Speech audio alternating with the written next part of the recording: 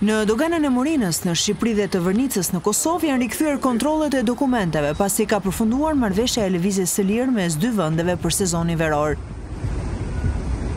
Kjo ka rikthyer radhët në kufi, pavarësisht se në të dyja anët punohet me katër sportele.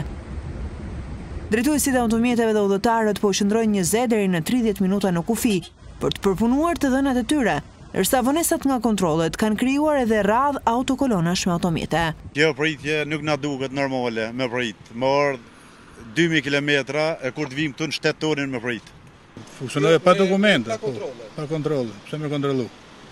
Një herë thonë se ta lanë të lirë tre muaj, një herë gjashtë, një herë nëntë, tani ku janë ato tre muaj, gjashtë muaj, nëntë muaj?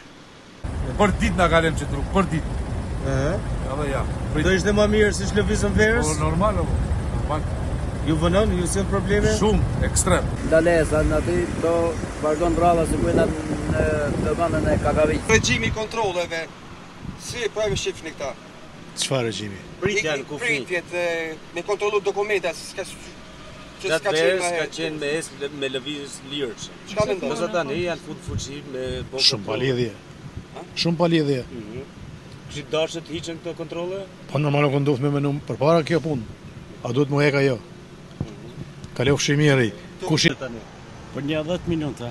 A është normale kjo mes vetit me prit? Është më shumë. Normal a s'ë normal s'e di.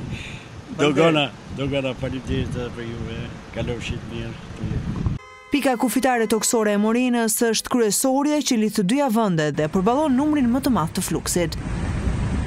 Marrëveshja e lëvizjes së lirë të nënshkruar mes Kosovës dhe Shqipërisë në pranverën e këtij viti shmangu trafikun dhe lehtësoi lëvizjen kufitare gjatë sezonit veror.